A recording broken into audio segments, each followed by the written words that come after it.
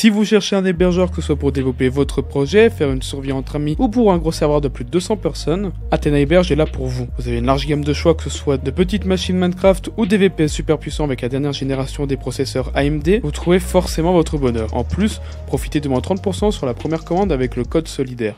Salut tout le monde, c'est Gotenko et aujourd'hui on se retrouve pour une nouvelle vidéo. Aujourd'hui on se retrouve pour une vidéo où je vais vous montrer comment utiliser Adder. Cette vidéo sera divisée en trois parties. Dans la première partie je vais vous montrer comment mettre Adder, comment mettre le pack en local pour le télécharger, on en reparlera juste après. Dans la deuxième partie je vais vous montrer comment utiliser le plugin, comment mettre des packs dans le plugin. Et dans la troisième partie je vais vous montrer comment mettre l'ancien Adder dans le nouveau. Pour ceux qui regardaient mes anciennes vidéos j'avais Adder, l'ancienne version. Et il y a beaucoup de choses qui ont changé entre temps. Donc dans un premier temps vous allez vous rendre sur votre FTP de votre serveur, hop, vous allez aller dans le dossier config. Alors il faut savoir que moi j'ai installé mon propre ptérodactyle sur mon VPS, mais ça fonctionne très bien si vous avez l'offre Minecraft chez Athena ou l'offre ptérodactyle. Après si vous prenez un VPS, libre à vous d'installer ptérodactyle comme vous voulez, mais si jamais ça fonctionne très bien avec Pterodactyl. Quand vous êtes dans le dossier config, vous allez activer self-host. Vous allez mettre l'IP de votre serveur ainsi qu'un port disponible. Pour aller voir dans les ports, vous allez dans Network. Et là, vous avez la liste de tous les ports disponibles. Alors, de base, avec Love Minecraft, vous n'aurez qu'un port. Vous ouvrez un ticket, on vous en rajoute 10, 20, 30, autant que vous souhaitez. C'est pas un problème. Il faut juste ouvrir un ticket pour en demander euh, un peu plus. Donc voilà, vous activez le self-host. Vous mettez votre l'IP de votre serveur en chiffre le port, vous enregistrez et vous redémarrez votre serveur. Et une fois que c'est fait, normalement, à chaque fois que vous mettez euh, des items euh, dans votre euh, item adder, que vous mettez n'importe quoi, vous allez en jeu, vous faites un slash iazip. Après, vous vous reconnectez. Bon, là, parce que j'ai Bungie Core, donc ça m'actualise pas dans le jeu. Mais normalement, ça va vous actualiser le ressource pack. Et là, vous allez avoir tout d'intégrer, tout du. Il n'y a pas besoin d'aller sur un site, du le pack, et etc. Là, le self-host, c'est vraiment la meilleure chose à faire. Donc maintenant, on va voir comment mettre en place un pack avec Adder. Imaginons que ce pack soit ce que vous vouliez euh, mettre en place. Vous allez juste aller sur le FTP notre Adder. Vous vous rendez dans Content. Et là, par exemple, si vous voulez euh, mettre, là, c'est des nouvelles armures. Vous mettez, par exemple, comme moi, j'ai créé un dossier stuff dans Content. Hop, et vous glissez le config et le resource pack dedans et c'est tout. En fait, je vous l'expliquerai après, mais maintenant Adder, c'est nous qui créons les dossiers euh, qu'on veut. Si par exemple on veut mettre le stuff, on met tous les packs de stuff ici, le config et le resource pack.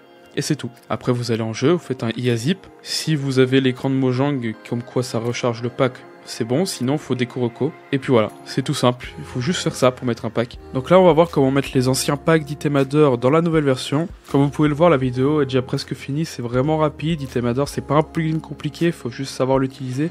Donc s'il y a des choses que je n'ai pas dites qui vous intéressent, n'hésitez pas à me le faire part en description. Et puis allez voir le wiki, vraiment, il est vraiment complet, c'est important. Parce que des fois tout est marqué là-bas, il n'y a pas besoin de se prendre la tête, à aller demander à lui, lui. faut juste aller sur le wiki. Donc j'ai pas trouvé d'ancien pack d'Itemader, mais je vais vous expliquer, vous allez voir, c'est vraiment tout simple. Avant Itemader, on mettait tout dans le fichier data, comme vous pouvez le voir. Dans le fichier data, on avait item pack et ressources pack sur Itemader. Maintenant, ça se passe plus dans le dossier data, comme vous pouvez le voir, il y en a plus dans content.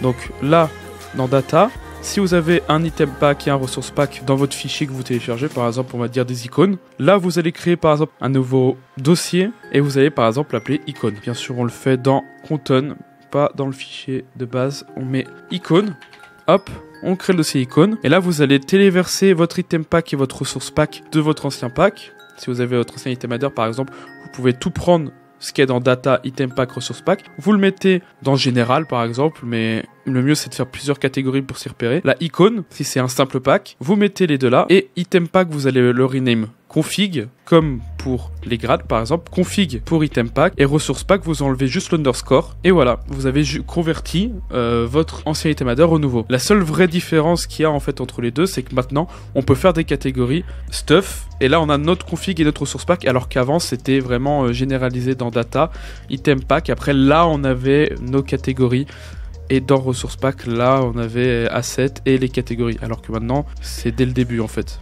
Donc je trouve ça plus simple. Mais voilà, c'est vraiment, en vrai, c'est vraiment tout simple à convertir une fois qu'on comprend comment ça fonctionne. Juste, la seule différence aussi, c'est que dans Data, Ressources Pack, Asset, on a le Minecraft ici, alors que là on l'a pas. Donc je vous conseille de le mettre dans IA internal qui est le, par défaut qui est créé, ressources pack, asset. Et là moi j'ai rajouté le Minecraft pour ceux qui veulent modifier euh, les fonds euh, avec euh, les fonds des de base de Minecraft ou modifier des sons, des sons, etc.